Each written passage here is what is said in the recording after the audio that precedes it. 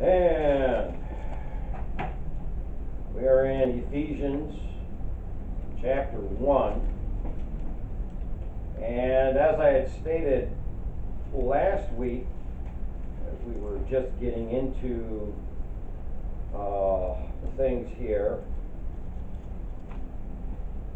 that several of the verses that are in Ephesians, particularly the first chapter of Ephesians, have been used by John Calvin uh, and continue to be used by those that have been teaching for these several hundred years now uh,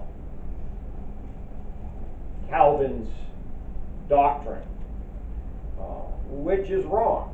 There's no two ways around it that it's wrong.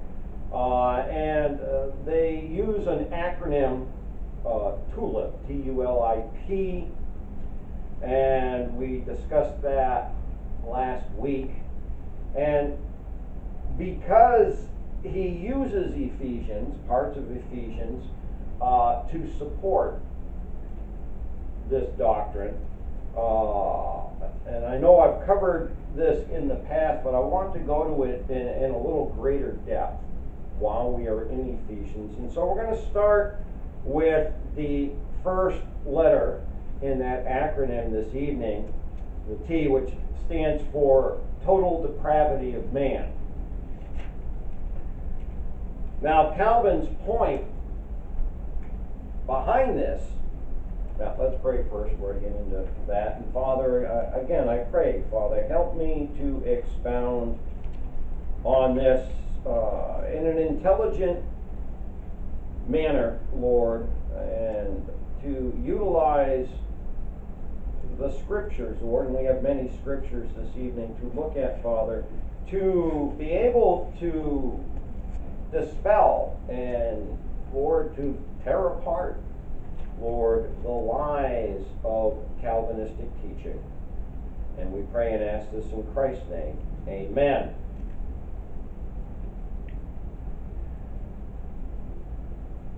In Calvin's teaching, his point behind total depravity of man includes the fact that man is, man's will is incapable of responding to God's gift of grace unless God Himself draws. Or not, I don't even want to say that, but if God doesn't give him the capacity to do so, then according to his theology, it's impossible for a human being of their own will to decide to accept Jesus Christ as their Savior. Which is, you know, again, this, this is really the key of the whole thing because everything else will fall apart uh, if it can be proved that man has a free will that he can exercise. So, again, Calvin's teaching is that, and we'll come to it in more depth as we go along, but that men are arbitrarily chosen by God, were chosen by God before He ever even created anything. Uh, the individuals that He decided would be righteous, He chose, and He only deals with them. The others are uh, irreparably uh, condemned to damnation forever because God didn't choose them. And so only those individuals whom God has chosen is God going to draw and give them the capacity to choose to accept Christ, whether they want to or not. and that then only after they have been saved do they have a free will to choose or or one way or the other. Prior to that, you know, there, man has no will to do good at all, according to his teaching. So we're going to look at the truth of this in the scriptures, and we're going to look at a lot of scripture tonight. So I know you're going to feel like you know Bible drills here. going through. But the reason why I want to have such a copious amount of scriptures is I want to go through, and we're going to be looking Old Testament and New Testament in this, uh, to prove the fact that God created man with a free will, and that even after man fell, that free will continued. And so man has the ability to choose of his own free will. We're going to begin in the Gospel of John 3:16 to 21. John 3:16 For God so loved the world that's all encompassing that he gave his only begotten son that whosoever believeth in him should not perish but have everlasting life. So all encompassing the world whosoever means anybody all encompassing okay for God sent not his Son into the world to condemn the world. Okay? So he sent his Son so that the whole world would have the opportunity to have salvation, but that the world through him might be saved. He that believeth on him is not condemned, but he that believeth not is condemned already, because he hath not believed in the name of the only begotten Son of God. So if God sent Christ into the world for the whole world so that the whole world can be saved, and some have believed and some have not, there's somebody's will at work there. And it's not God's then if He sent Christ for the whole world. And this is the condemnation that light is come into the world, and men love darkness rather than light because their deeds were evil. They're making a choice. For everyone that doeth evil hateth the light, neither cometh to the light, lest his deeds should be reproved. But he that doeth truth cometh to the light. Okay? So he's doing truth before he's come to the light that his deeds may be made manifest that they are wrought in God. Well, that doesn't sound to me from that verse like people don't have a free will. How about Acts chapter 8?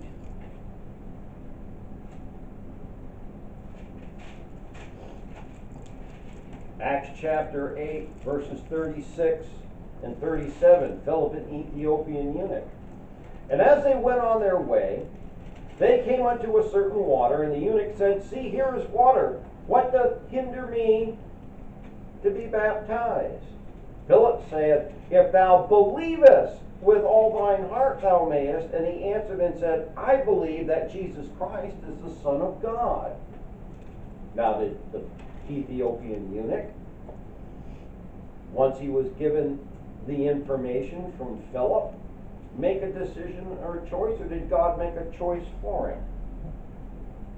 Now, based on John 3:16 to 21, the Ethiopian eunuch made a choice. But let's keep going. Go to Romans chapter 3, verse 3. For what if some did not believe? Okay.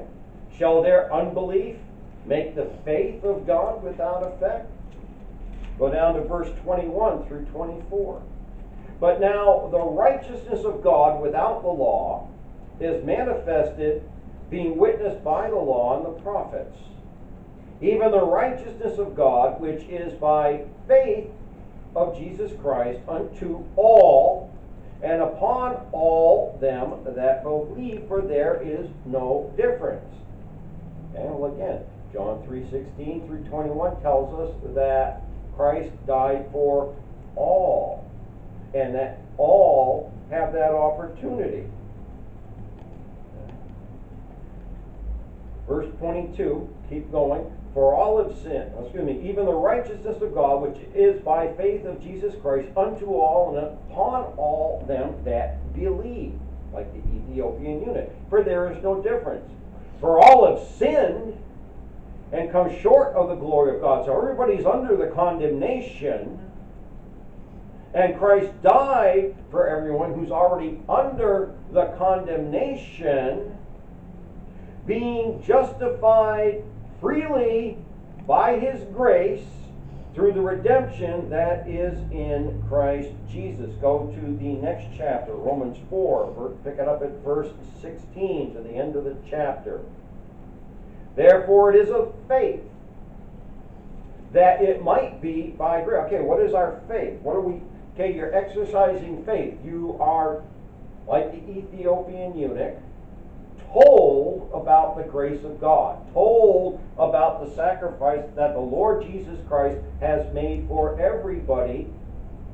You receive the facts, you choose to believe the facts, and you exercise faith in the facts. And when you exercise faith, God responds to your faith with that grace. And via God the Holy Spirit, who is the active agent in the process of salvation, all the different things that happen when you are saved occur at that instant. Therefore, it is of faith that it might be by grace. To the end, the promise might be sure to all the seed, and not to that only which is of the law but to that also which is of the faith of Abraham, who is the father of us all. As it is written, I have made thee a father of many nations, before whom he believed even God, who quickened quickeneth the dead, and callest those things which be not as though they were, who against hope believed in hope that he might become the father of many nations according to that which was spoken, so shall thy seed be. And being not weak in faith, he considered not his own body now dead. Mean, there's an awful lot of things going on here in the mind of Abraham. When he was about a hundred years old, neither yet the deadness of Sarah's womb, he staggered not at the promise of God through unbelief, but was strong in faith, giving glory to God, and being fully persuaded that what he had promised, he was able also to perform. Now you think about it. If God arbitrarily chose Abraham back before he ever created him, why does Abraham even have to exercise anything? He's been chosen. Whether he knows it or not. He's been chosen. So there's where where does faith even come in to that? And therefore it was imputed to him for righteousness. Now it was not written for his sake alone that it was imputed to him, but for us also, to whom it shall be imputed if we believe on him that raised up Jesus our Lord from the dead. So it's dependent upon something. Okay? It's dependent upon us doing something. Okay, back in the tulip theory, that you that will be coming up is unconditional election. Well, no, it says here that there's a condition that you have to believe and exercise faith. Okay, that requires you making a choice and a decision. Okay? But for us also, to whom it shall be imputed, if we believe on him that raised up Jesus our Lord from the dead, who was delivered for our offenses and was raised again for our justification. Staying in Romans, go to chapter 10. Romans chapter 10, pick it up at verse 8, and we'll go down to 15. But what saith it? The word is nigh thee, even in thy mouth and in thine heart. That is the word of faith which we preach.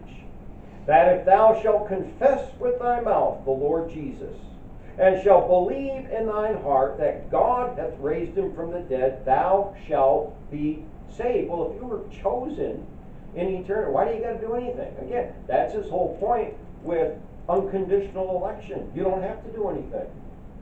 There's no requirement. Well, here there's a requirement. You've got to act on information. You have to make a choice.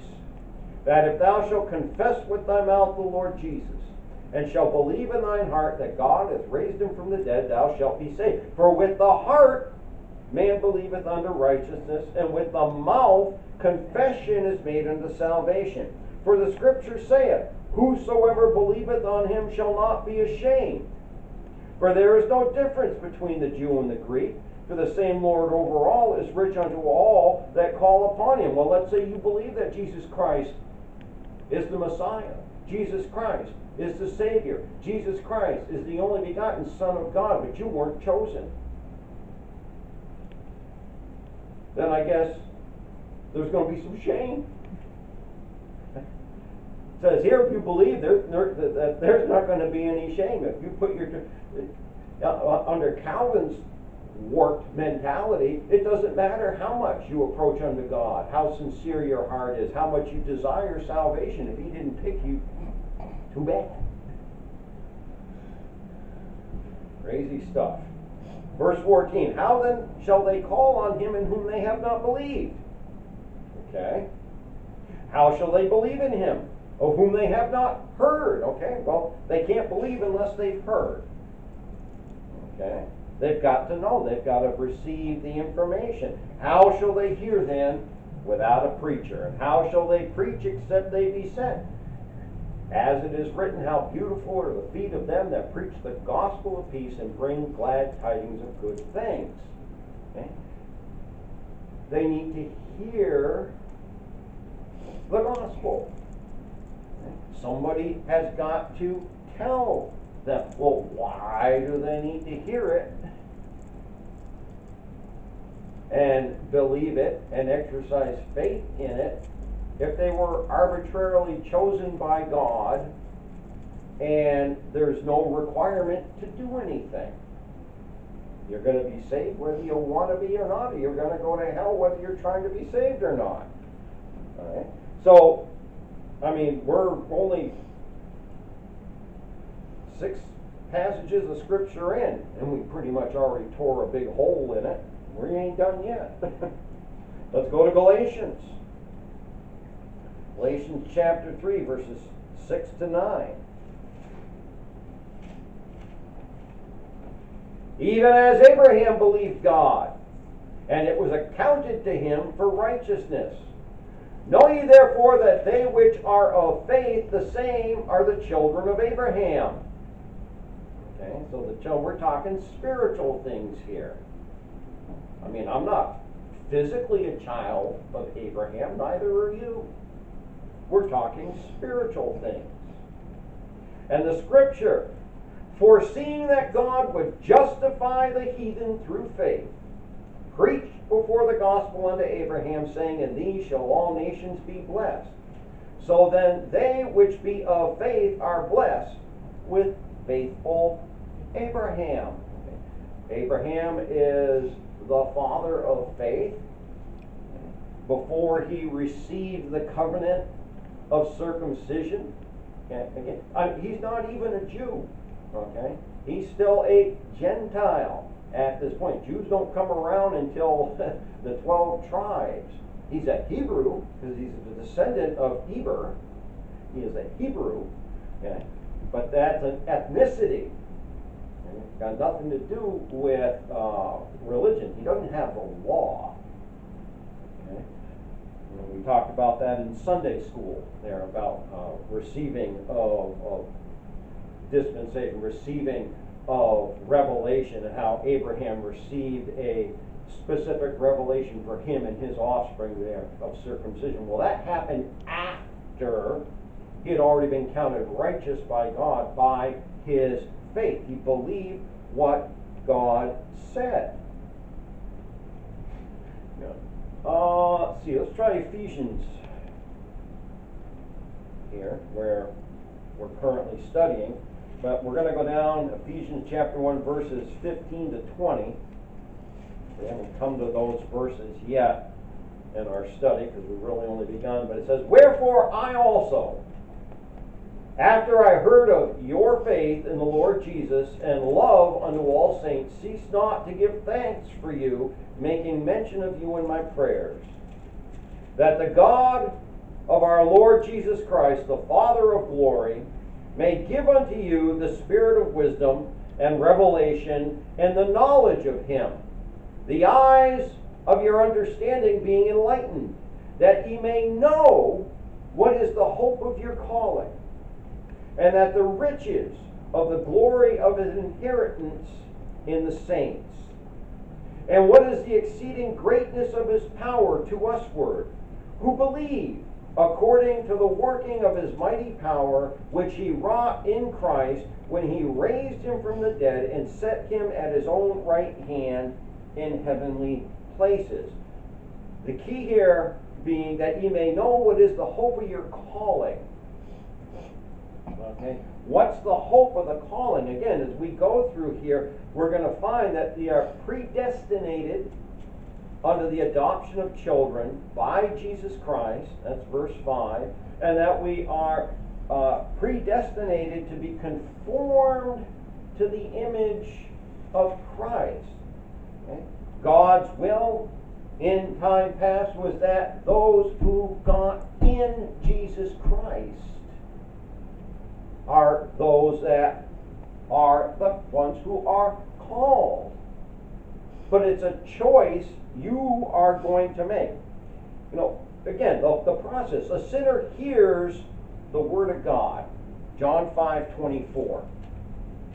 Back to the Gospel of John. John 5 24. You hear the gospel. Lord speaking, Verily, verily, I say unto you, he that heareth my word and believeth on him that sent me hath everlasting life, and shall not come into condemnation, but is passed from death unto life. He, receiving the facts, believes the gospel. Romans 10 again. Back there. Romans 10, and we're looking at verses 14 to 17, How then shall they call on him in whom they have not believed? And how shall they believe in him on whom they have not heard? And how shall they hear without a preacher? And how shall they preach except they be sent? As it is written, How beautiful are the feet of them that preach the gospel of peace and bring glad tidings of good things. But they have not all obeyed the gospel. Oops. Obedience is a choice. They have not all obeyed the gospel. For Isaiah saith, Lord, who hath believed our report? So then, faith cometh by hearing, and hearing by the word of God. Faith cometh by hearing, and hearing by the word. Okay, you hear, and you choose to obey, and choose to believe. He trusts Jesus Christ as his Savior then at that point. First Timothy. Uh, back while we're in Romans, go to Romans uh, 3 and 4. We also read those. For they being, whoops, yeah, 3 and 4 there. Romans 10, yeah, verses 3 and 4, yeah. For they being ignorant of God's righteousness, and going about to establish their own righteousness have not submitted themselves unto the righteousness of God. You submit yourself, that's something you choose to do. For Christ is the end of the law for righteousness to everyone that believeth. Then go to 1 Timothy 4.10.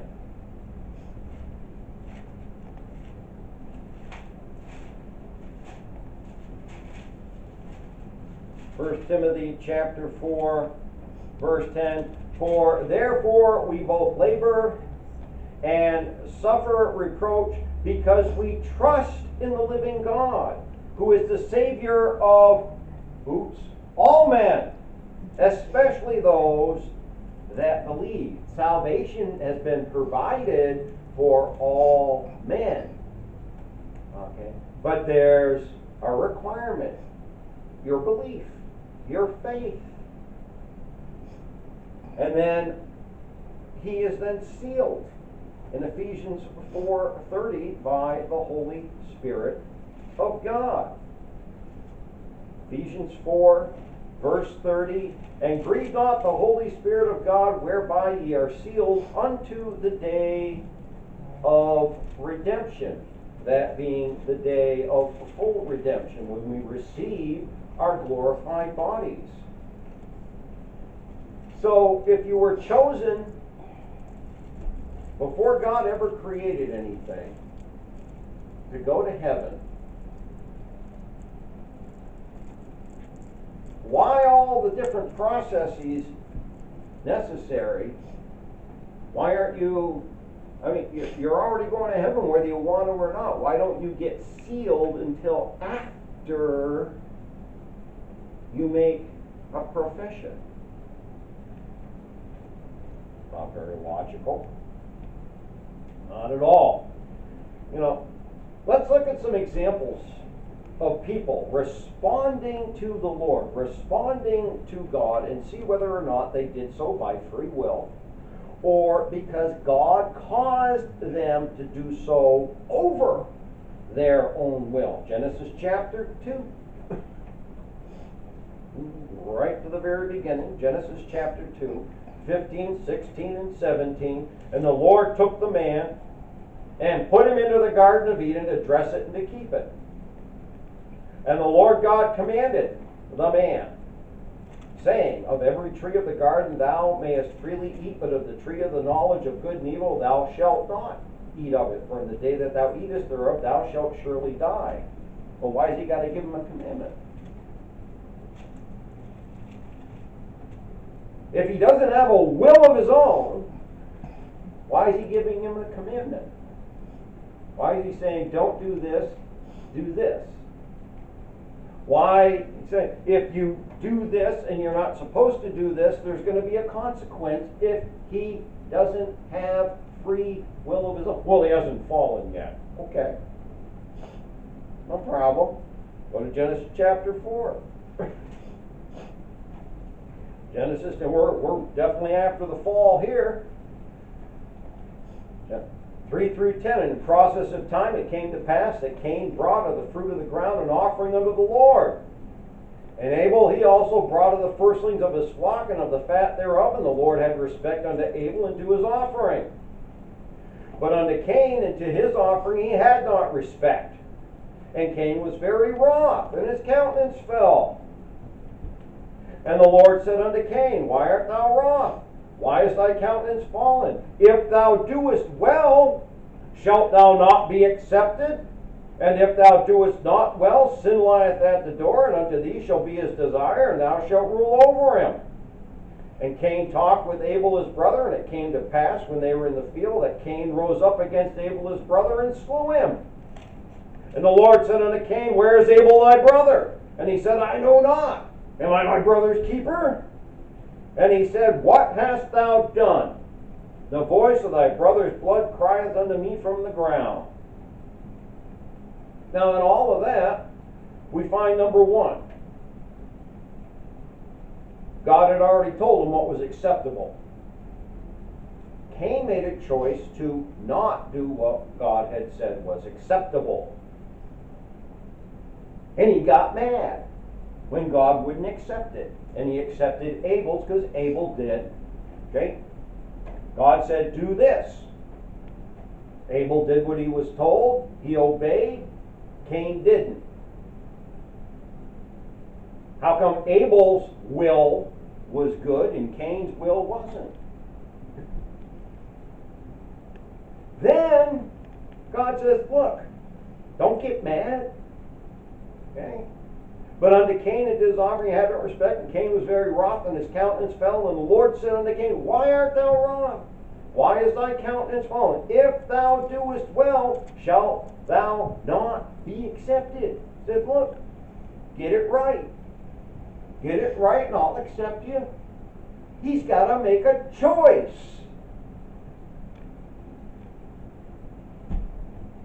I, mean, I don't know how you can get around that. Noah chapter 6. Pick it up at verse 9. These are the generations of Noah. Noah was a just man and perfect in his generations, and Noah walked with God. Well, did he do it because that's how he was programmed? Or did he make a choice? And Noah begat three sons, Shem, Ham, and Japheth. And the earth also was corrupt before God, and the earth was filled with violence. And God looked upon the earth, and behold, it was corrupt, for all flesh had corrupted his way upon the earth. Okay.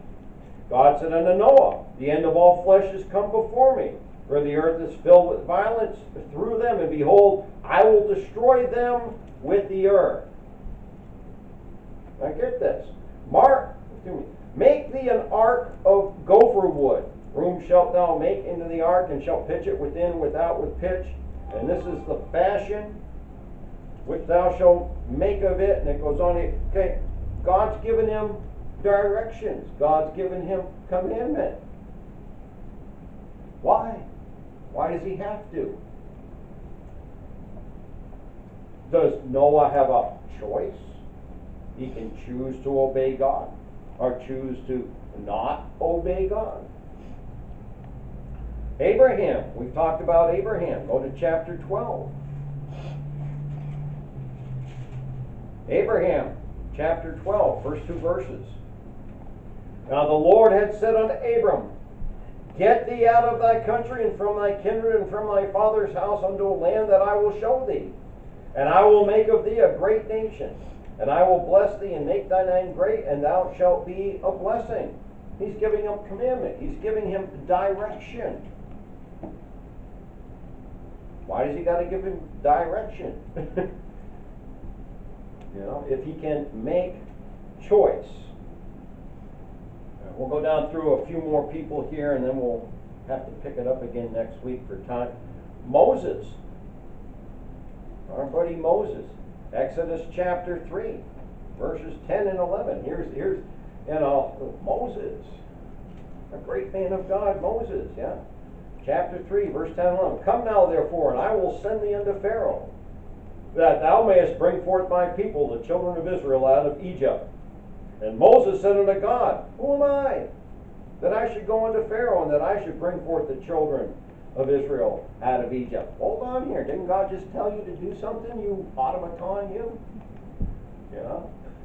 Obey. God keeps hitting enter, and it's not doing it. Stupid program's not working right. uh, chapter 4, verse 1. And Moses answered and said, But behold, they will not believe me nor hearken unto my voice, for they will say, The Lord has not appeared unto thee. Verse 10 in the same chapter, and Moses said unto the Lord, O my Lord, I am not eloquent, neither heretofore nor since thou hast spoken unto thy servant, but I am slow of speech and of a slow tongue. Man, this guy is trying hard to not do God's will. Great Moses. That's a choice. Uh, go to Numbers chapter 20. Numbers 20, verse 7 through 13. And the Lord spake unto Moses, saying, Take the rod, and gather thou the assembly together, thou and Aaron thy brother, and speak ye unto the rock before their eyes, and it shall give forth his water. And thou shalt bring forth to them water out of the rock, so thou shalt give the congregation and their beasts drink. And Moses took the rod from before the Lord as he commanded him. And Moses and Aaron gathered the congregation together before